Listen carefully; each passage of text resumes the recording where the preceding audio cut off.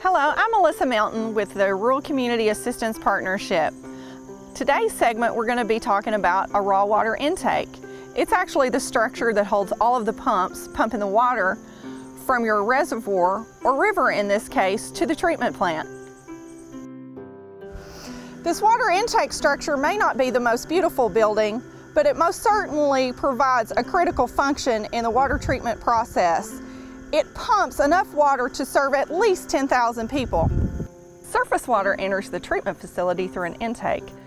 An intake draws raw water through a suction line that typically has a screen or other device attached to avoid drawing in fish, wildlife, or even debris.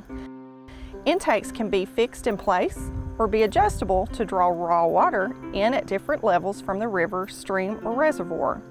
This sometimes provides for a better quality or quantity of water at different times of the year. Come on, let's go inside.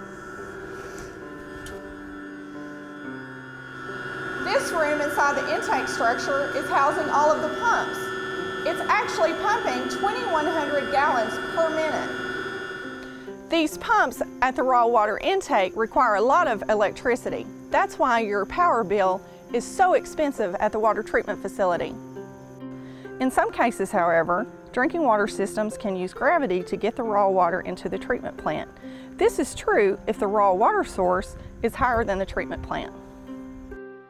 As we're leaving the raw water intake structure, the water is being pumped into the water treatment plant, initially into a pre-settlement basin. In this case, the water will be pumped directly into a static mixer or flash chamber.